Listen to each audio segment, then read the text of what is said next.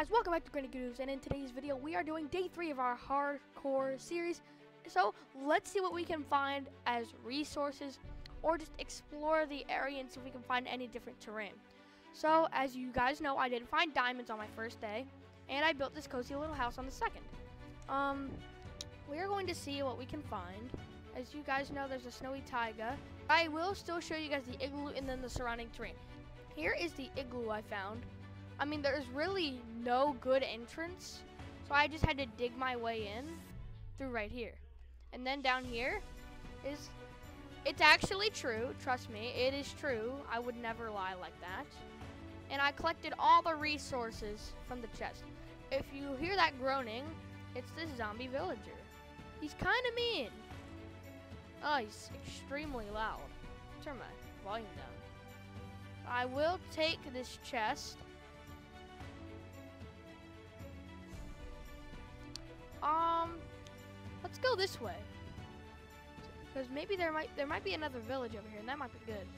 And then I could go back to my house later. While we go back to the stony shores.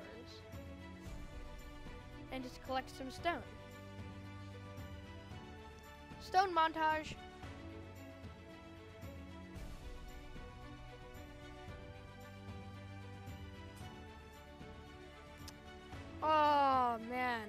I managed to mine 28 blocks of cobblestone before my before my pickaxe died. 20 cobblestone for everything.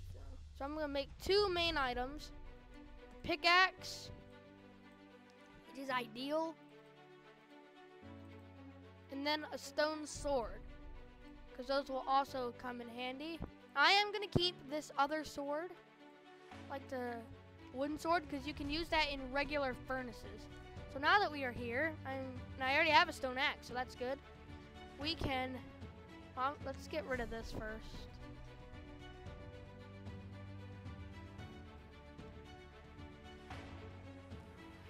I need to use my axe.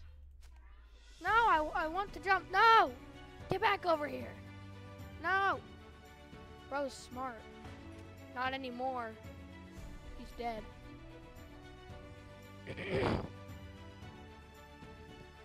Where are animals? Hmm. I'm gonna murder you. Oh, I got extra food.